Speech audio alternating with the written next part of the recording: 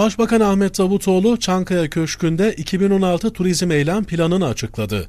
Başbakan Davutoğlu, Hükümetimiz turizm sektörünü bir çözüm ortağı olarak görmekte, sektörün herhangi bir zarar görmemesi için büyük bir hassasiyet sergilemektedir. Bu çerçevede bugün açıkladığımız eylem paketiyle sektörümüze doğrudan 255 milyon Türk lirası bir destek, hibe desteği sağlıyoruz. Ayrıca sektörün 288 milyon Türk liralık ödemelerini de erteliyoruz ve 3 yıla yayılmış şekilde ödeme kolaylığı getiriyoruz.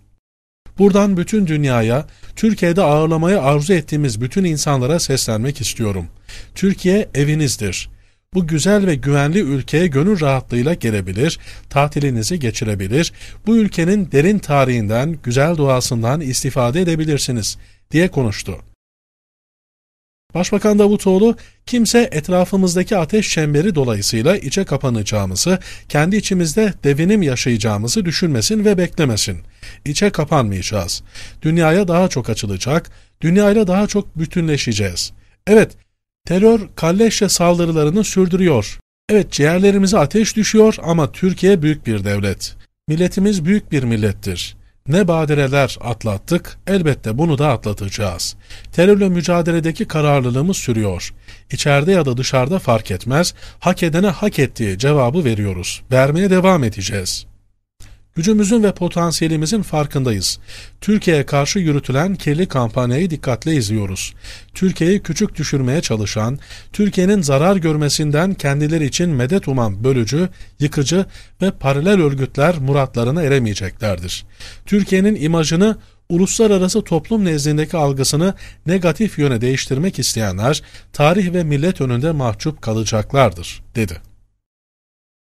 Başbakan Davutoğlu yurt dışında her gün belli mihraklarca doğrudan Türkiye'ye ve Türkiye'nin turizmine dönük açık bir kara propaganda yürütülmektedir.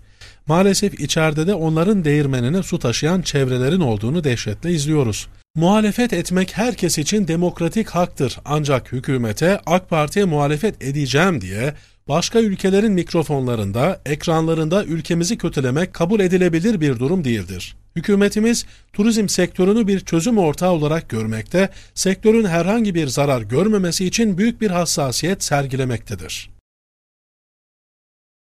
Bu çerçevede bugün açıkladığımız eylem paketiyle sektörümüze doğrudan 255 milyon Türk lirası bir destek, hibe desteği sağlıyoruz. Ayrıca sektörün 288 milyon Türk liralık ödemelerini de erteliyoruz ve 3 yıla yayılmış şekilde ödeme kolaylığı getiriyoruz. Buradan bütün dünyaya Türkiye'de ağırlamayı arzu ettiğimiz bütün insanlara seslenmek istiyorum. Türkiye evinizdir. Bu güzel ve güvenli ülkeye gönül rahatlığıyla gelebilir, tatilinizi geçirebilir, bu ülkenin derin tarihinden, güzel doğasından istifade edebilirsiniz. Bugüne kadar yaşadığınız efsanevi misafirperverliğimizle yine sizi misafir etmeye hazırız diye konuştu. Rusya ile yaşanan gerilim ve çevre faktörleri nedeniyle eylem planı hazırladıklarını anlatan Davutoğlu, hedefimiz turizm anlamında dünyada ilk üçe girmek, 2023 hedeflerinde turizm önemli bir yer tutuyor, dedi. Turizmin de kırılgan bir sektör olduğunu, bu nedenle zaman içinde bir takım tedbirlerin alınmasının kaçınılmaz olduğunu anlatan Davutoğlu, 9 maddelik eylem planı olduğunu söyledi. Davutoğlu'nun 9 maddelik eylem planı şöyle. Dünyadan turist getiren A grubu seyahat firmalarına uçuş başına 6 bin dolar destek veriyoruz. Ülke sınırlamasını da kaldırıyoruz. En az 400 bin turist getiren A grubu firmalarına 100 milyon kredi imkanı sağlıyoruz. Turizm sektöründe daralma olursa turizm firmalarının ihtiyaç halinde borçlarının yeniden yapılandırılması sağlanacak. Bakanlıktan belgeli deniz turizmi tesislerini ihracatçı kapsamına alıyoruz.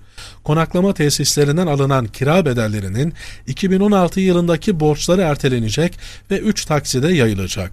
Turizm acil eylem planı destek paketimiz kısa vadede hayata geçirilecektir. Daha çok telafi edici tedbirler içermektedir. Çevreye duyarlı tesislere su, atık su gibi bedeller için en düşük tarife uygulanacak. Sektörümüze 255 milyon liralık hibe desteği sağlıyoruz. 288 milyon liralık ödemelerini de erteliyoruz ve 3 yıla yayılmış bir şekilde düzenliyoruz. Konaklamayla deniz turizmi tesislerinden bir önceki yıl 750 bin dolar döviz getirenler ihracatçı sayılacaklar. 1 milyon doların şartını 750 bin dolara indiriyoruz. Ayrıca deniz turizmi tesisleri de yararlanacak. Yurt dışı fuarlara katılım desteğinden istifade edecekler.